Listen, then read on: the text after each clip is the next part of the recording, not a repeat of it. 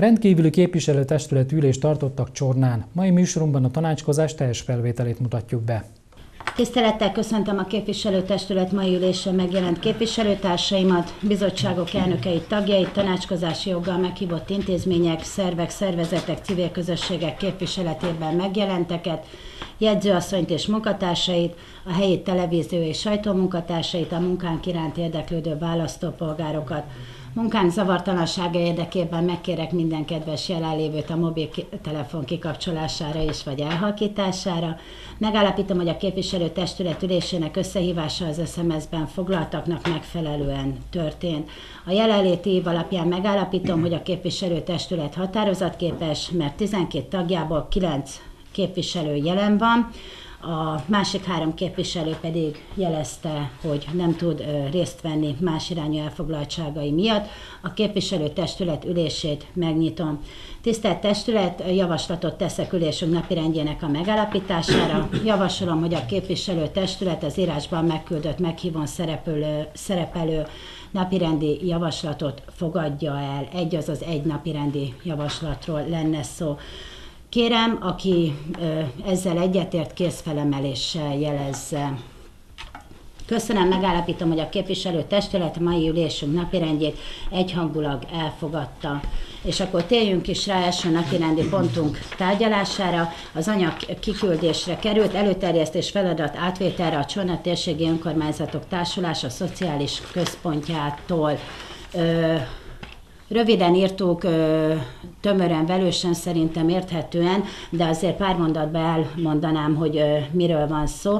2016. április 14-én tartott ülésen a Csorna térségi önkormányzatok társulása döntött a fogyatékosok nappali ellátás és a hozzá szorosan kapcsolódó támogató szolgálat 2017. január 1 napjától történő kiszervezéséről. A Magyar Máltai Szeretett Szolgálat kifejezte szándékát a két szolgálat átvétele vonatkozásában.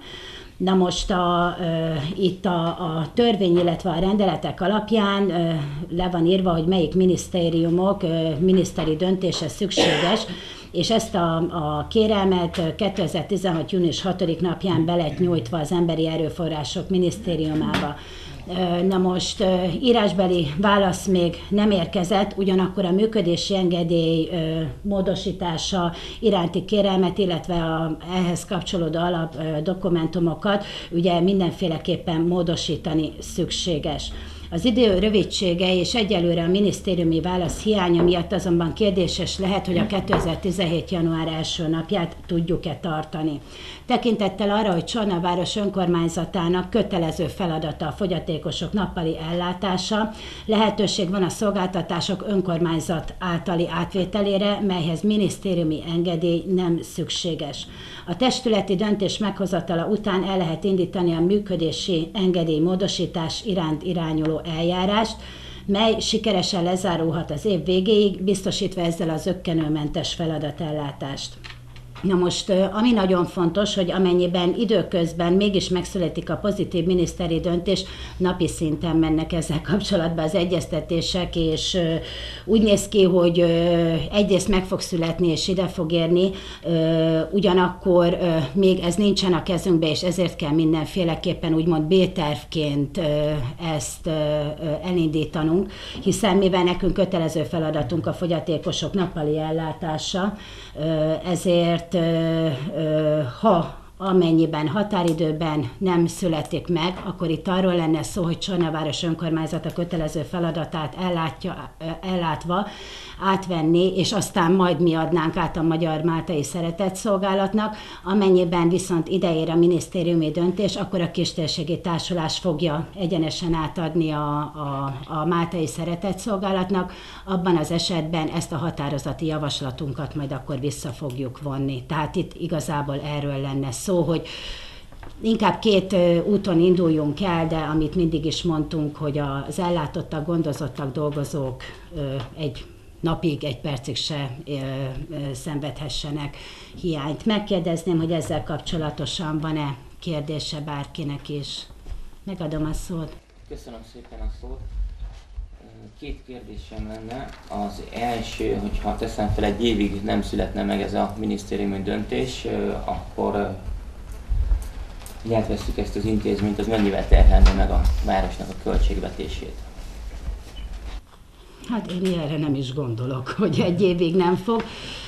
Azt majd akkor fogjuk látni, hogy mennyivel terheli meg a város költségvetését. Még egyszer hangsúlyozni szeretném, hogy kötelező feladatról van szó, tehát ugye értelemszerűen normatívát kap rá, illetőleg térítési díjak vannak, tehát értelemszerűen azon van mindenki, hogy ez, ha nem is pozitív, de legalább nullszaldósan kijöjjön, de még egyszer mondom, hogy nagyon reméljük, hogy minél hamarabb, még egyszer mondom, napi szinten folynak az egyeztetések, és nagyon remélem, hogy át fog idén menni, de ha mégse, akkor se legyen probléma ilyen értelemben.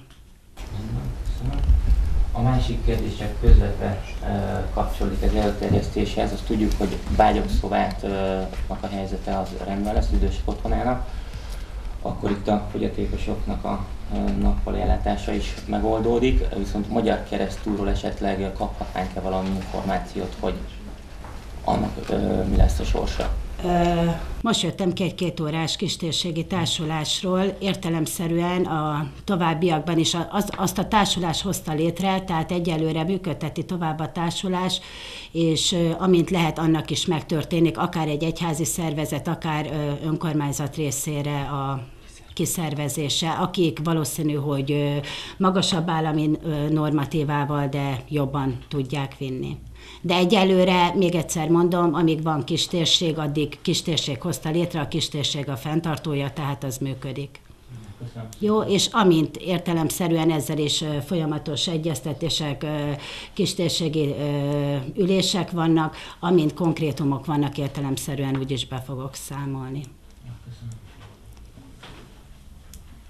Megkérdezném, hogy még valakinek kérdése az előterjesztéssel kapcsolatban, amennyiben nincs módosító javaslata, észrevétele, hozzászólása.